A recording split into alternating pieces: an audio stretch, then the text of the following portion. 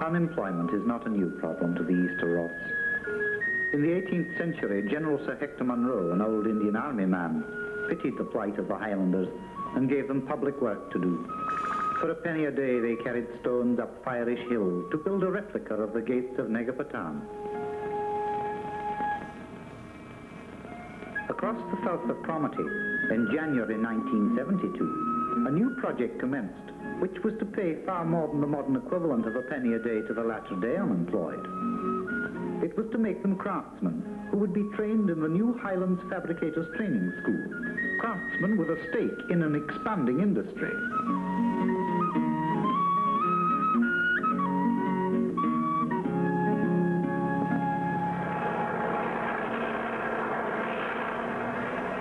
Of excavation to remove one and a half million cubic yards of sand and sandstone. The dredging of a quarter of a million cubic yards of materials. And all this to construct a new graving dock would be no mean effort under normal circumstances. But considering that the target date was only seven months away when the first cut was made in these sand dunes, then it became a formidable task. However, when work started in January 1972, there was every reason to believe that with the equipment to hand, the target date would be met. And it was.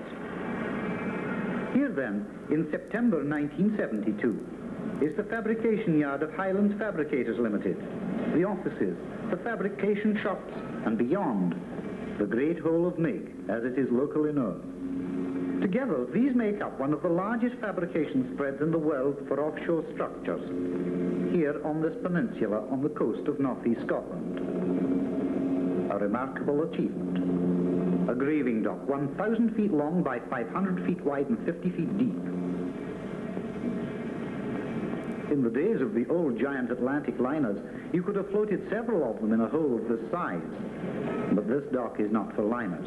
It's for the construction of oil drilling and production platforms. First job is to construct the legs for one of the world's biggest offshore platforms. It will stand on the British petroleum strike on the Forties field, just off the Scottish coast. The company chose this location for its proximity to the oil field and also for the all-important water depth in which to float the structures to be built. However, the site lacked one thing. In January 1972, there was no local skilled labor force. In November 1972, there is a local skilled labor force. A force of over 600 men capable of handling the work of assembling complex steel structures.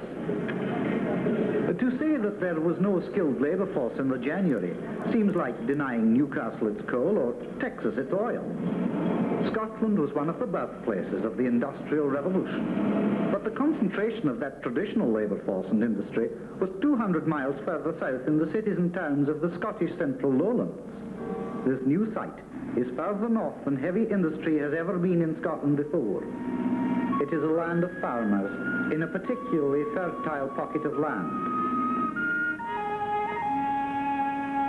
It's on a seaboard once noted for white fishing, but now its activity is confined to a small, profitable sea salmon trade and to pleasure boating. Recent years have seen relatively little industrial development. Hydroelectric plants and an aluminium smelter gave work in quantity only during their construction. The other wide-famed industry satisfies the demand of the many out of the efforts of a few. Tremendous task of creating these huge facilities had been the responsibility of the British firm Wimpey, one of the two parent companies in Highlands Fabricators. One could say they left no stone unturned. In human terms, their American partners Brown and Root had an equally vast task in creating the labour force to run that yard. Were they to import a labour force from further south? Impossible. The housing problem alone would have ruled it out. The importation of American labor in numbers was not considered. It is company policy to recruit and train in the locality. The company was sure that the reputation of the Highlanders was such that if given the opportunity, they could provide the labor force needed. 600 men such as these were registered as unemployed in the area. Most of the potential recruits had had no experience of steel fabrication, and the work which lay ahead of them would put them in the big league. Public meetings were organized throughout the area to explain the details of the proposed fabrication yard. Some people were naturally concerned. There had been full employment in the area twice before. Temporarily, in two world wars, this windswept harbor had been a naval base for the home fleet. After each war, the ships had gone, leaving only the odd supply ship and a lot of empty pockets. Most people were very definitely in favor of new opportunities for employment. But there were doubts in the minds of some on a number of other factors, environmental matters, pollution risks, possible unsightliness. At the meetings with hot cups of tea, the developer's task was not quite so hard as when they toured the crofts alongside the proposed site in a biting January wind. The local attitude and their final acceptance of the situation was summed up by Eric Linklater, the offerer, who lived in the big house on the hill slope above, and upon whose land the major part of the site was to be built.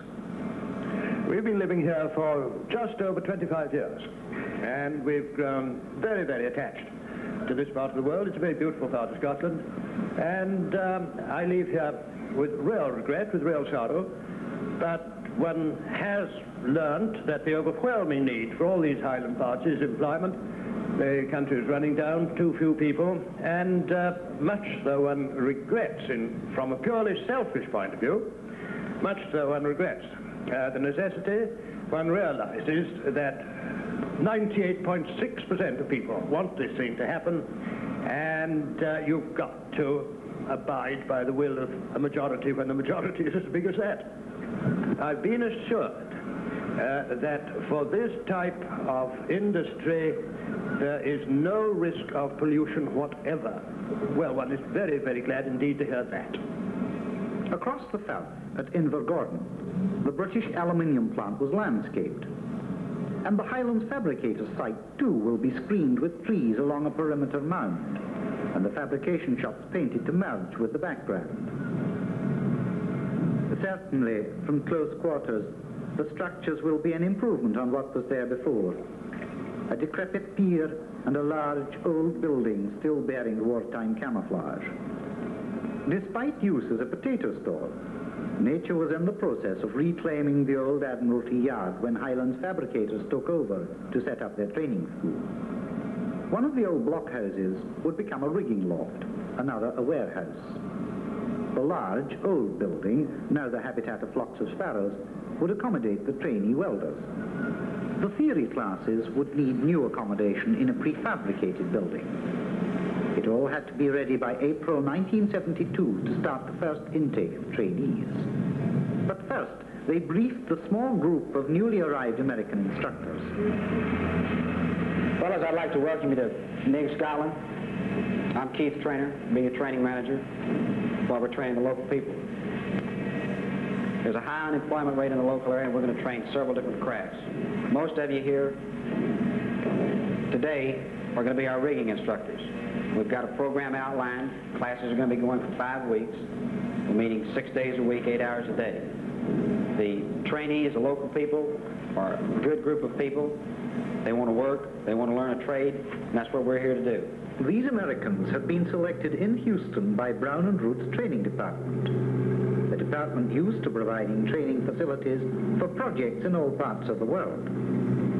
Here at Nigg, they were to train the first work crews recruited from local men of various backgrounds, who are now either unemployed or seeking good work in their home locality. Well, I was 10 years in the Royal Navy and I'm out of the Navy approximately 10 years, and since leaving the Navy I've had numerous jobs, none with anything which could be called security. And I've, I've done rigging before, which I'm learning to be here, incidentally. I'm learning to be a rigger. Training local labour involved making teams of men into welders, riggers, fitters and other crafts involved in fabrication work. The welding processes taught included stick rod, MIG, submerged arc, and Innershield. The exercise started in the classroom.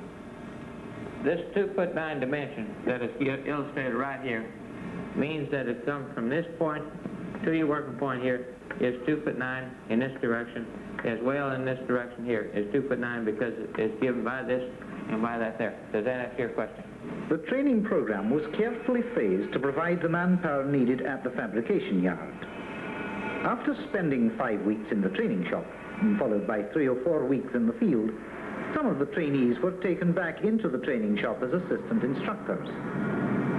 The idea of the men being taught by their colleagues is a part of the company's training policy. The students feel at ease in that they are with their own kind. There is also the saying that the student makes the best teacher.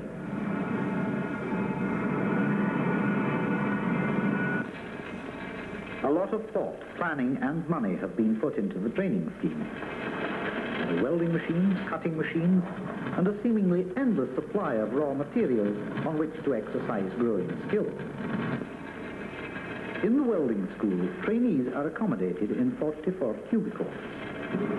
But all the units and all these cubicles, they're really equipped for all three phases, all three tec- techniques. The two units together can, can do all three phases of welding. It's just a matter of, of switching on or turning off two switches, one way or the other. Changing over from one to the other is just a matter of minutes. And to make the training more realistic, many of the practical exercises led to the making of training and construction aids, both in the workshop and in the yard. those when they built a small 30-foot structure for the rigging program. Uh, they drew it up on blueprints. Uh, they went out in the shop, laid it out. The welding class welded it up for them, and uh, they've now turned it over to the riggers to erect. It's a practical project. It gives the boys something to work on that's meaningful to them. Exercises of this kind and touches such as this model are part of the policy of humanizing the scheme.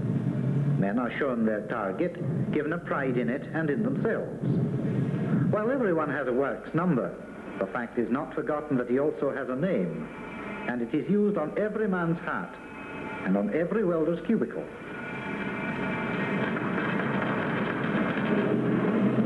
If you were a supervisor with troubles, you've no troubles. He starts fun. It's one of the few jobs you never get shouted at. If anybody wants anything, they come and ask. The company treats every man as an individual. And we had the boys in the other day talking to them about their welding. They were getting a little concerned about their certification tests if, if they didn't do very well on it the first time that we were going to run them off. And we sat them down and explained to them you know, really the philosophy of the company. We look at all the problems they've got and try to solve those problems on an individual basis. And that's what's making this training school go. And that's what's going to make it a success. On completion, the trainee is awarded a certificate. It's almost basic uh, human nature to want to have something around to show that you've done a good job. I've been to several of the men's houses, uh, and you know they're they're on the wall. The award's not automatic. Each trainee has to pass the client's stringent test. You know, the welding on this job's got to be of a very high standard. but no man is lightly discarded or downgraded. Initial aptitude tests gave a 95% assurance that each of these men would graduate in the craft for which he had been selected. Those who failed at the first attempt needed only two or three extra weeks in the training shop to consolidate before retesting successfully. This second chance helps build confidence and creates enthusiasm. The, the thing I noticed is not only are they keen here, but they're taking work home. I mean, they're taking homework home with them. Maths, for example, there's a couple of boys in the rigging uh, school who, on the first maths class, hardly knew a thing. Because they, they left school, what, 12, 13, when they were, you know, 12, 13, 14 years of age. And their maths marks, one fellow uh, 20% on his first maths marks. I saw a math marker on today, 85%. And it's sheer hard work. He takes everything home with him every night and studies like crazy. I'm quite pleased with my position with the company and everything is just good, you know. I think they're quite satisfied, you know. They quite like the work and they're quite pleased with the money. Naturally, we all like to think we'll get a bit more, but really and truly, in my opinion, they're quite well off and they seem to be quite satisfied with the money, you know. The fabrication yard has trained and employs almost 95% of local labor. People come from the approximately 50-mile radius in this area. Most of personnel, or all personnel we employ employing have no experience, previous experience in offshore platforms. We're rather pleased with the dedication and the output of these workers. Personally, I think it's going to be a very good job. Success of a venture of this kind can also be measured in the increased stability it gives to the locality. Well, for the North, I mean, the North's a floating community. It's here today and gone tomorrow. This could help them. Could stabilize them. Wives now have their men at home instead of away south working. Their jobs are now on the doorstep and they have spare times in the evenings and at weekends.